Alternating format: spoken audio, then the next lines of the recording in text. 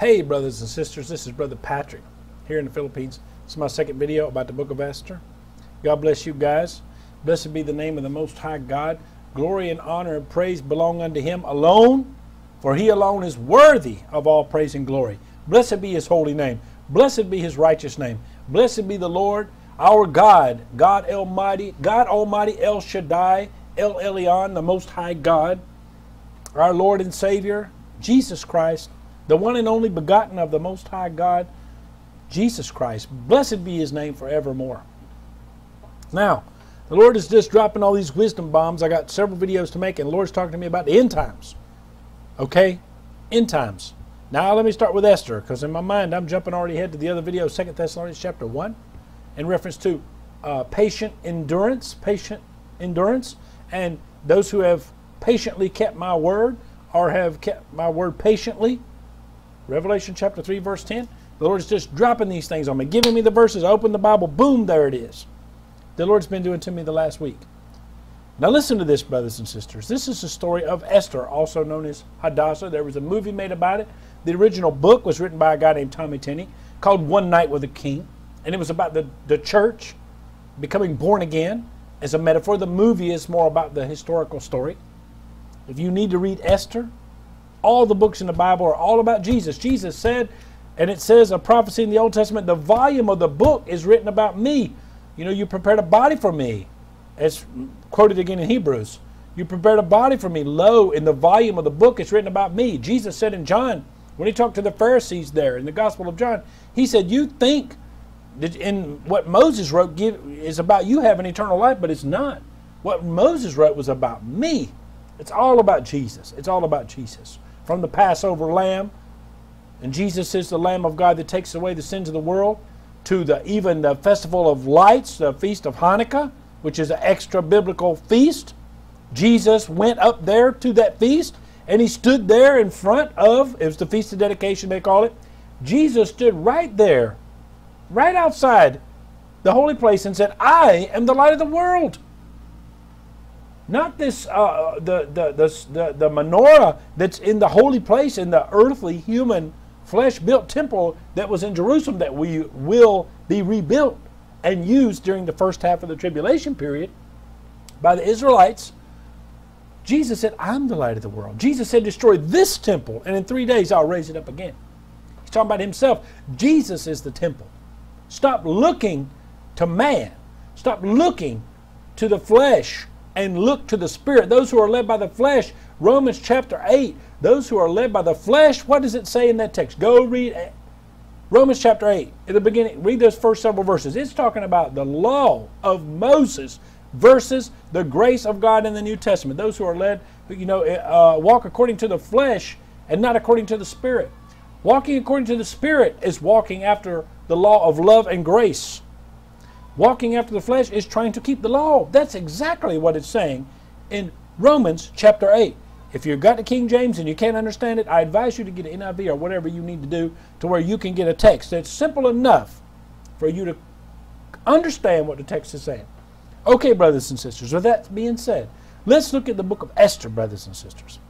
Now, what happened is the king of Persia, you know, and the Medo Persians, which is now, you know, Iran, the king, he had a wife. Let's start at Esther chapter 1, verse 10. The Lord's just dropping these bombs on me, guys. There's so much things he showed me. Let me get into it. On the seventh day, that's a whole thing in itself. On the seventh day, hey, that's completion, right? Uh, oh, let's read verse 9 of chapter 1. Also, Veshta. Now, this Veshta queen is a type of Israel. Even though Hadassah, Esther, was Israeli. She was a Jew. But Veshta is really like a type of Israel. Also, Veshti, see, Hadassah was a Jew who acted like the bride of Christ, the Gentile bride. Veshti, who was a Gentile, acted like the way Israel acted in rejecting the king. Also Veshti, verse 9, Esther chapter 1, also Veshti, I've never heard anybody teach this. Lord just, just told me to start reading it and dropped it on me. Also Veshti, the queen, made a feast for the women in the royal house, which belonged to the king. The Lord is just dropping more on me right now. I wasn't even looking at this verse. The Lord's done dropped 10 nuggets on me. the queen representing Israel had a feast where? In the king's house, where? In the temple in Jerusalem, and inviting other nations in there, but not in honor of the king, but in exalting Israel above everybody and in becoming like the Gentile nations, uh, committing spiritual adultery and being like the spirit, uh, the Gentile nations, not like the nation that God called them to be. That's why Jesus had to, you know, that's why Jesus was rejected by them. There's lots of parables Jesus told. I'll get into that in a minute. Israel has another day coming. That's during the tribulation, the time of Jacob's trouble. Okay? They're rejected, it says in Romans chapter 9 and 11. They're rejected because of unbelief and believing on the Messiah. They're rejected, but they will receive the Messiah during the tribulation period. Brothers and sisters, I want to throw that out there. All these people that saying replacement theology is one thing, people trying to replace Israel with the church. No, they're two different things. But right now, Israel is lost. And they will, God is in the process of bringing them to what? To the knowledge that Jesus is Messiah. And until that day, they are not saved. They are lost in this world. They need to be evangelized just like anybody else. Sorry, John Hagee, for that. Reality and truth. Verse 10 On the seventh day, when the heart of the king was merry with wine, he commanded, and he names all these people, the seven chamberlains that serve in the presence of the king, to bring Vashti, the queen, before the king with the crown royal, to show the people and the princes her beauty, for she was fair to look at. Jesus said, this is what the Lord's dropping them. Jesus said that the king prepared a wedding and he invited the guests to come, but they refused to come. They were busy. So the king said, Go out into the highways and hedges and compel them to come in. You know, bring in the halt, the maim, you know, not the not the guest. Bring bring in the, the you know the, the these nobodies. Bring in these people that were that are nobodies. Bring in these people that were no just out there in the world that wasn't nothing. This revelation that the Lord's given me is awesome. To me, I'm shocked at it. I didn't got into it. I hope I don't forget any of it. By the grace of God's Holy Spirit, I'm going to remember this. You guys' prayers help me. Thank you for those who have prayed, fervently prayed for this breakthrough as the Lord is dropping wisdom on me. I, have never heard before. Uh, but it's truth. Okay. But the queen Vashti refused, verse 12, Esther chapter 1. But the queen Vashti refused to come at the king's commandment by his chamberlains. Therefore was the king, the chamberlains, the prophets. Therefore was the king, let me put, let, throw it out there for the people on the shallow end of the pool the, that are that don't know the Word of God. When I said, I'm not saying that the chamberlains represent the prophets of the Old Testament, calling Israel to get ready and receive the Messiah, like John the Baptist as an example. Okay, but the queen Vashti refused to come at the king's commandment by his chamberlains. Therefore was the king very wroth, and his anger burned in him. It's exactly what happened with Israel, as I've been quoting. Jesus talks, tells all these parables about he's the stone that the builders rejected. I mentioned the other day about the vineyard that the people that were managing the vineyard kept beating those who were sent to collect the harvest, the prophets. And then when he sent his own son, they killed the son. So what would the, Jesus asked the Pharisee leaders there, the Sanhedrin people, what would you do? What you know, what would the owner of the vineyard do when he comes? Seeing as they killed all of, you know, beat up and killed all of his servants, the prophets, and then they killed the son, the only begotten son of the of the owner of the vineyard, what would he do? They said he will take it from them and give it to a they, they will take God will take that vineyard from Israel and give it to another people. That's the Gentile church. And, Je- and then Jesus said, when they said that, Jesus said, Haven't you read in the scripture where it says the stone that the builders rejected has become the head of the corner or the capstone? And, it was, and this is marvelous in our eyes. The Gentile church. Let's keep going. Verse 13 Then the king said to the wise men which knew the times, for it was the king's manner to toward all that knew law and judgment. And he asked all these people to come, okay, the seven princes of Persia, Media, which saw the king's face and which sat the first in the kingdom. What shall we do about this queen Vashti according to the law, because she has not performed the commandment of the king? And he goes on how they advise him. They advise him what to do. If it please the king, verse 19, let there be a royal commandment from him and let it be written among the laws of the Persians and the Medes that it not be altered, that Vashti come no more before the king. And let the king give her royal estate unto another that is better than her. And the king decreed which he shall make published through all the empire, saying that it pleased the king and the, uh, let's see, all the wives shall give their husbands honor, both great and small. Okay, let's go on. I want to talk about Esther now. So he needed a new wife. That's where Esther came from. Now listen to me. Esther is an Israelite.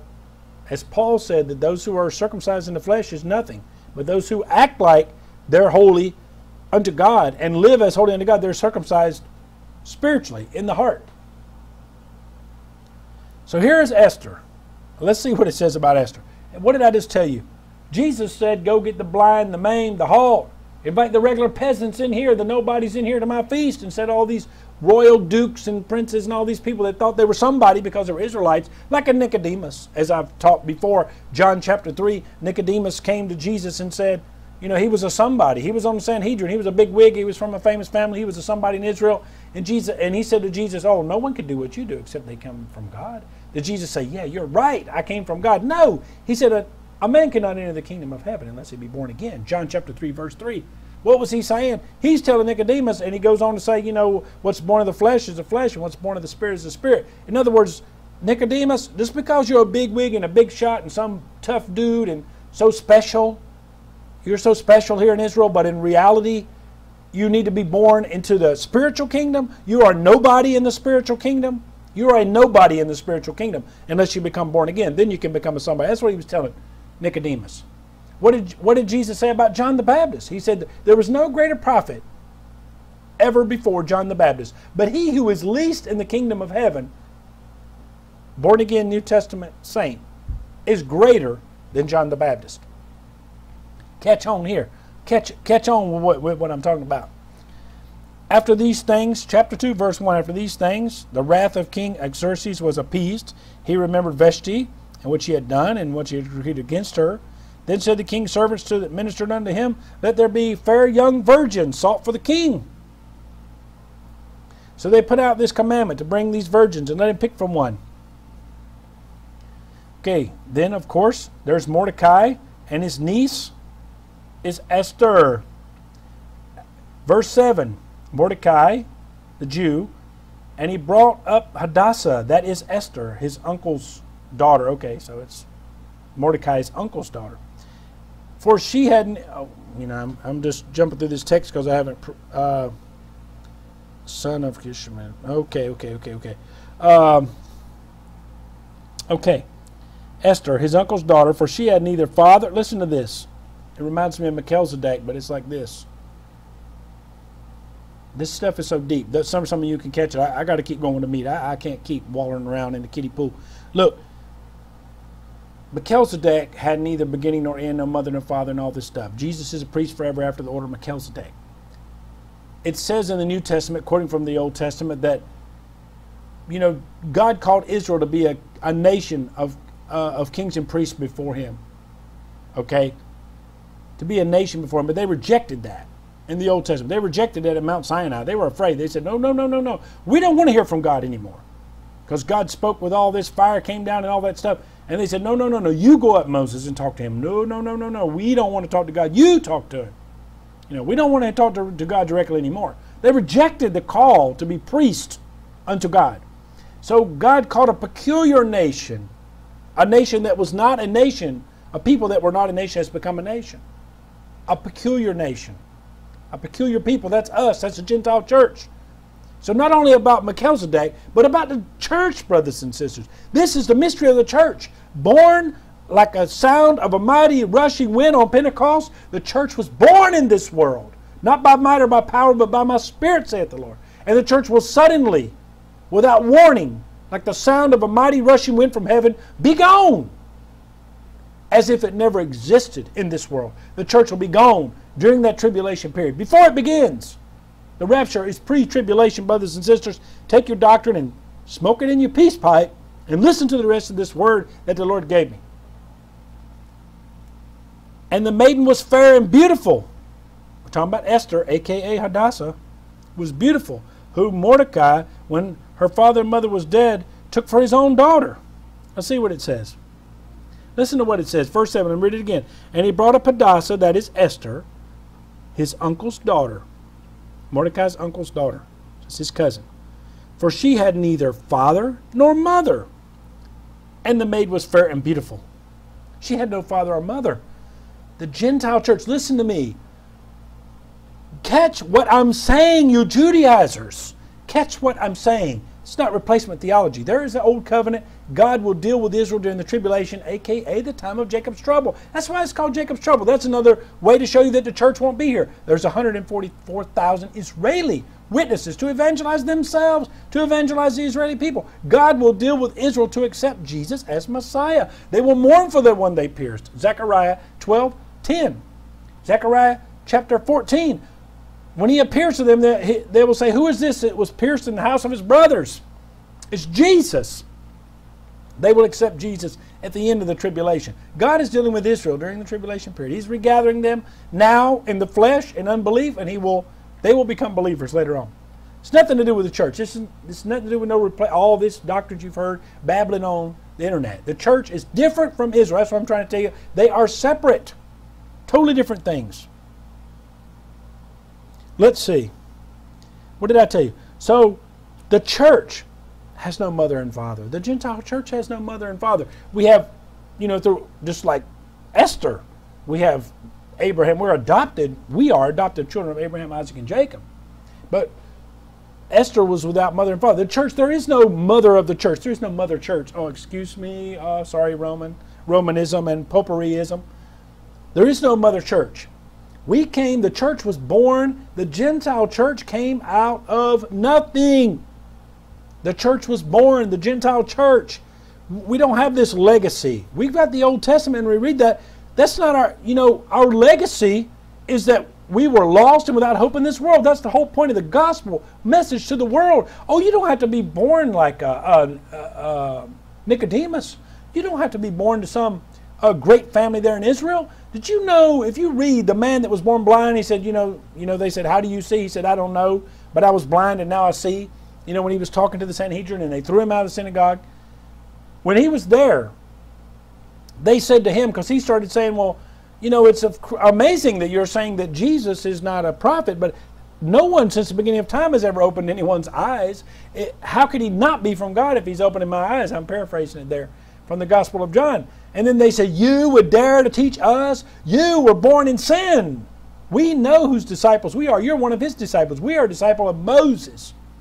They started saying that the regular Israelites that were not Pharisees, that were not Levites, were nothing but trash and dogs. They were treating them like they're scum. You're living in sin. We're righteous and holy. You're living in sin. That's what these elders were saying to this regular guy. He was an Israelite also. It's not where you came from. It's not your flesh birth. It's your second birth, the spiritual birth. That's what I'm trying to tell you. That's what God is trying to get me to tell you. It ain't, um, it ain't about you trying to play like you're a Jew when you're not, putting on this prayer shawl and a yarmulke and all that stuff. It's really, as a matter of fact, it's a blasphemy and it's a it's an insult to God's first covenant. When you're trying to put yourself you know, somehow just picking and choosing the parts of the law. You know, you're not going to Israel on the feast. You're not sacrificing animals. You're accepting the blood of Jesus, but yet you're somehow having a hodgepodge of mixing in things that God gave to Israeli men, by the way. Israeli men only are supposed to be wearing those prayer shawls, not women. I don't want to get off into all this detail specifically about uh, situations. She was without father or mother, just like the church. The church is inheritance is in Christ. It was suddenly appeared. We didn't have to have, you know, when you read in the book of Matthew and Luke, brothers and sisters, God is just dropping this stuff on me. All you who think you know and you're, and you're walking in your own self righteousness, don't you know they put those genealogies in Matthew and Luke? Why was that? So that Israelites would know that Jesus is a blood descendant of King David. Because God had promised David that one of his descendants would sit on the throne forever. Jesus, another name for the Messiah, is the son of David. That's what they called him. But Jesus asked the Pharisees, uh, why, in, in Psalm 110, why is it that God said, The Lord said to my Lord, Sit at my right hand till I make thy enemies your footstool? If God the Father called him Lord, how is he then David's son? When Jesus asked the Pharisees that, or you know, the uh, in that case, it wasn't them. Uh, they, they, they were couldn't think of what else to say, and they walked away because they, they had no answer for what Jesus said. So they called him the son of David, but one of the titles he's not calling that. It's the root, the root and offspring. He's the root of David and the offspring of David.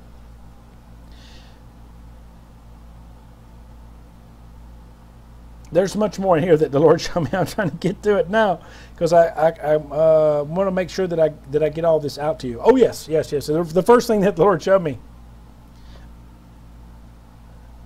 The name of that movie or the book is One Night with a King, which I haven't read it. I've read another book by Tommy Tenney, The God Chasers, way back 2000, 2001. Uh, and I've seen the movie, which is really nothing like the book. But if we read in this text, verse 12 of Esther chapter 2, when she had been selected by the king, brothers and sisters, when she got saved, King Queen Esther was selected by the king to become the queen. She was saved to be the bride of the king. Okay? It says that she spent one year. One year, and this is what I started making this video. The Lord gave me the text from Esther about this part. And then I then as I was reading it, boom, boom, it was all and there's more too, I can't remember now, but she had one year, one year of preparation. When I start I keep reading directly from the text, I get all confused because I'll start reading the Bible verses over and over again. She had one year of preparation there in, in Esther chapter 2, verse 12. One year of preparation before the wedding night, before her one night with the king. She'd already been chosen by the king that she's going to be the queen. She was selected. She was a nobody, just like all of us Gentiles. We were lost and without hope in the world. We came from no background. It doesn't mean anything in God's kingdom, only in the kingdoms of man. Only in the kingdoms of man. But God, as Mordecai said, Maybe you've been born for such a time as this. That's what Mordecai said to Esther. Now, what did Esther do? She went boldly before the throne of the king. The end of the story of Esther, they were going to kill all the Jews, this Haman guy, type of the Antichrist, tribulation stuff. She went boldly before the king, and the rules were the queen, no one could come before the king without invitation. And the queen went, she fasted for three days and she boldly became came before the throne of the king to seek an audience with him, invite him to a banquet so she could talk to him about saving her people, the Israelites. He didn't even know she was an Israelite because you know her, she was an orphan. She came boldly before his throne, and the king received her. The king received her when he could have had her killed for not obeying him by coming before his throne without permission, without being invited. So she threw herself on the mercy of the king, and the Lord and, and the king, in this case, as a shadow of the Lord, gave her mercy and received her unto himself. So there's so many lessons to learn in there for us, brothers and sisters. So many lessons. She had a year of preparation before her wedding night. Preparation, and I made a video the, this yesterday or two days ago, maybe three days ago. I posted it yesterday. I made three videos in one day, and then I posted them one a day so people could have a chance to see them. The year, the word of the Lord for the year 2014 is separation. And I used, you know, and the and the Lord gave me that song. Uh, you know, breaking up is hard to do. People don't want to break up with the world.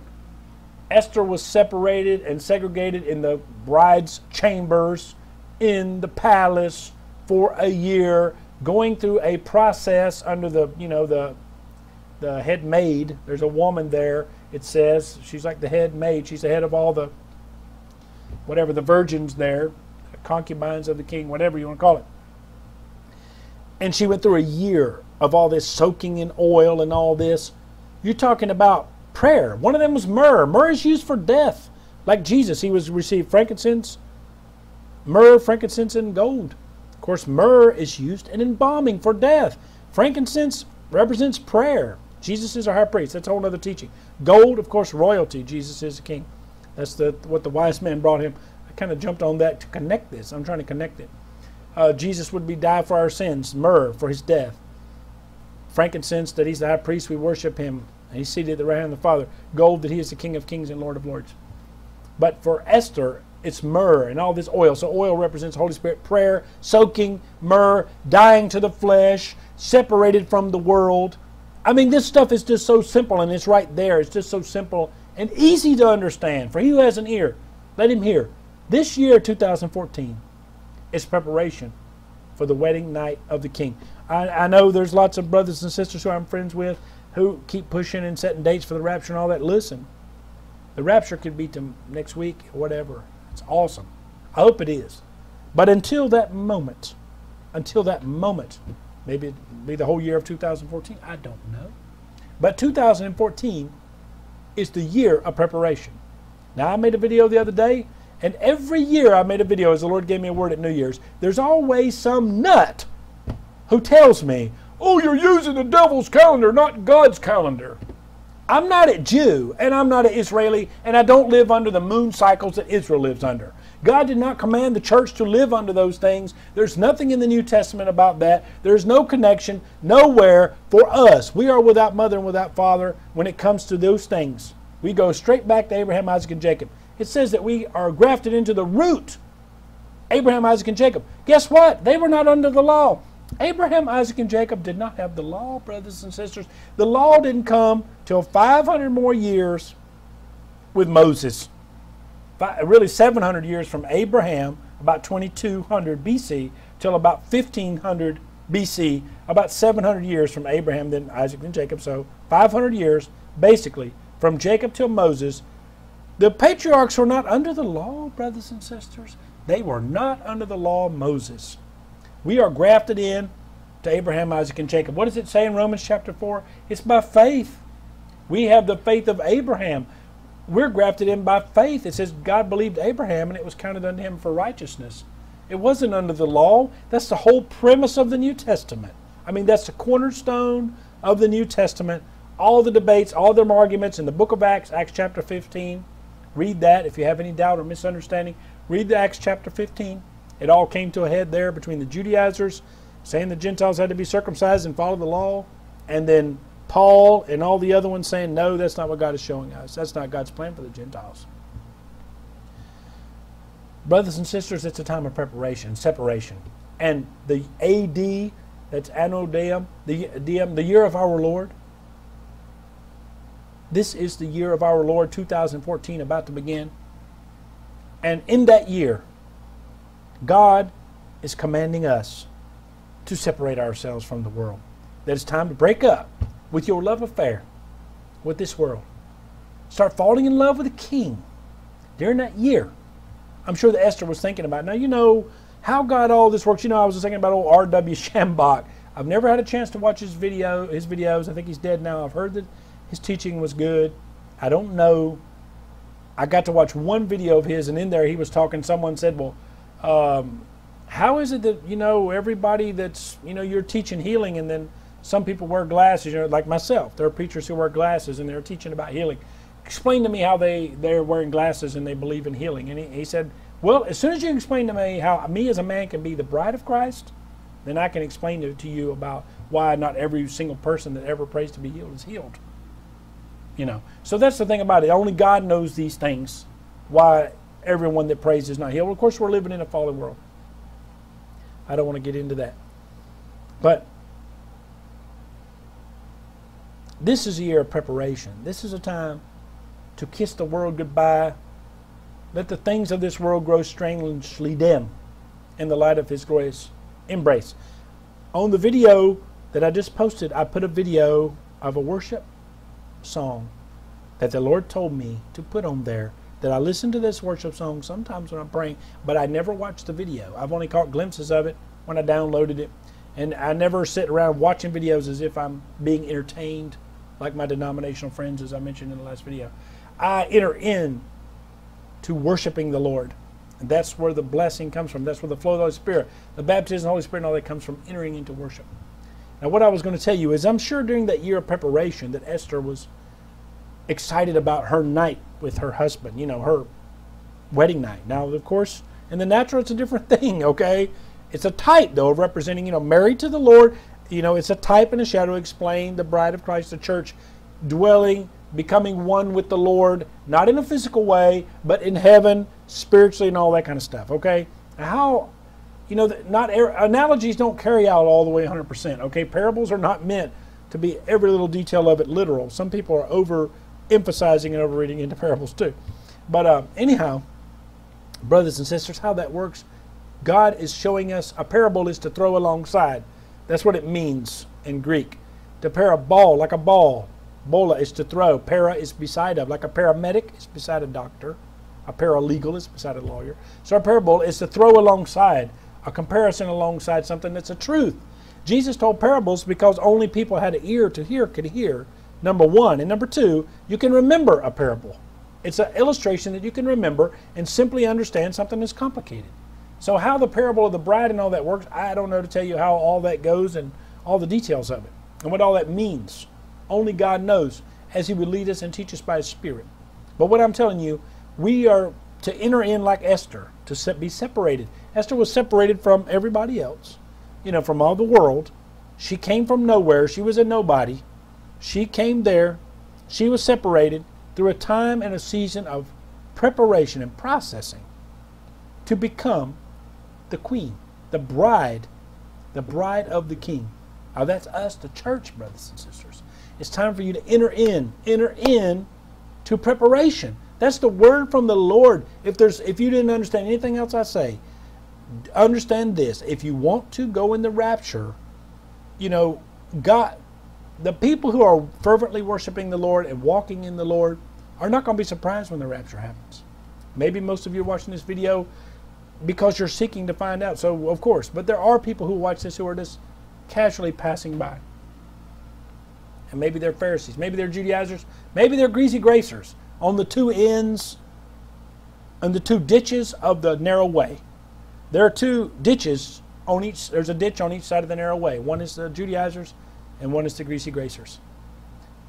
The highway of holiness, Isaiah 35, I 35, right down the middle Right down the middle is where the Lord is calling us to walk therein. Separate yourself from the world and be ye holy, for I am holy. Peter quoted it in the New Testament. I just read it from a video the other day. He quoted it from the Old Testament in the New Testament. Brothers and sisters, God bless you. God bless you. There's a whole lot more the Lord's telling me about Esther. I'll get back to it. Second Thessalonians chapter or two. I got to get to that to chapter one. I got to get to that too. God bless you guys. Separate yourself.